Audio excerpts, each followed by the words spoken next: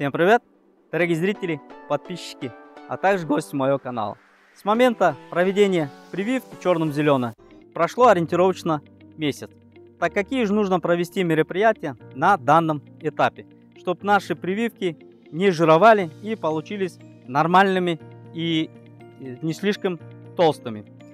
Прежде всего, а, какие нужно учитывать факторы. В данном случае я перепрививал взрослый куст винограда, 4 а, рукава, то есть у меня двухплоскостная шпалера, а, два рукава в одну сторону, два рукава в другую сторону. Если представить, на дальнем фоне видим у нас виноградник, имеет побеги около двух метров, уже достигли и также несут нагрузку гроздями и также несут нагрузку около 30 зеленых побегов. Так вот, на данном этапе наши прививки тронулись, и многие совершают ошибку, начинают удалять пасынки и начинают а, как можно быстрее, чтобы развивался основной побег. На мой взгляд, это ошибка, так как куст взрослый, и в прошлом году он нес нагрузку около 30 а, побегов. Также здесь было немалое количество гроздей.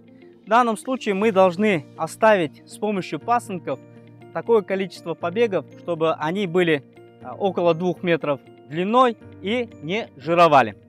В данном случае у нас на этой половине было проведено 5 прививок. Видим, да, смотрим. Раз, два, три, четыре, пять прививок. Но этого мало. Мы должны на эту половину оставить где-то ориентировочно 12-14 побегов видим у нас, а, видим центральный побег идет да, в развитие. И а, у пазуха листьев развивается у нас пасынки. Раз, два, три, четыре, пять, шесть. И видим у нас здесь есть а, гроздь. Она нам нужна обязательно, чтобы убедиться в сортности. Но верхнюю половину можно здесь отщипнуть.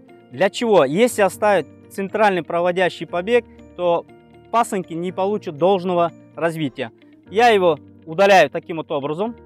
С таким образом стимулирую развитие всех пасынков. И с помощью пасынков я наберу а, то количество зеленых побегов, которое мне необходимо. Точно так же смотрим на другой рукав, да, на другом рукаве. Видим, прививка пошла в рост, идет центральный побег. И видим, у нас есть достаточное количество пасынков. Раз, два, три, четыре. Но э, видим, здесь у нас есть гроздь. Мы прищипываем здесь, да, и точно так же удаляем нижний один пасынок, так как он нам не нужен. Удаляем один. И с помощью вот таким вот образом, набирая с помощью пасынков то количество зеленых побегов, и в концу концов к осени мы получим нормальные длинные побеги и нормальные рукава. Если на данном этапе мы будем все пасынки удалять, оставлять то количество произрастающих э, центральных побегов, то они э, к осени будут длиной около 3-4 метров и будут жировать. Это недопустимо.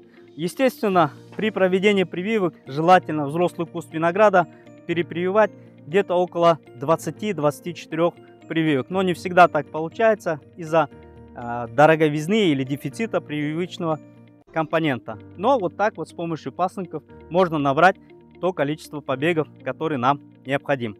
Это все, что я сегодня хотел рассказать. Всем пока, до новых видео.